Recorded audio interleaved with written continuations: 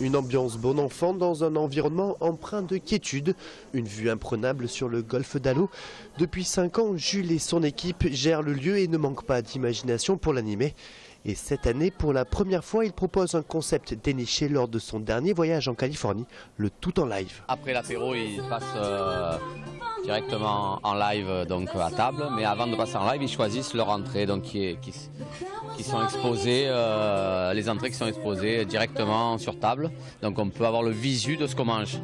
C'est pas mal parce que souvent quand on va dans les restaurants, on, on nous donne des noms avec de ci et de là, mais on ne sait pas ce qu'on va manger. Donc en fait, vous avez ici le visu de ce que vous allez manger. Donc c'est pas mal, on peut choisir en direct live, justement, le visu en live. Déjà ça commence là. Un dîner différent chaque mardi à déguster sous le figuier, ça n'a l'air de rien comme ça, mais c'est un véritable défi pour les chefs qui défilent ici sous les yeux des clients. C'est quoi cette assiette?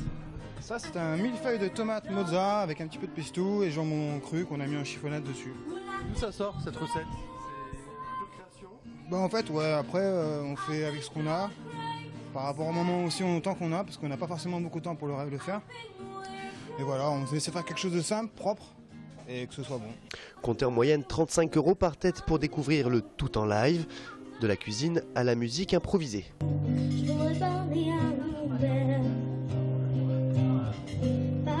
Et même parfois, c'est Jules lui-même qui pousse la chansonnette.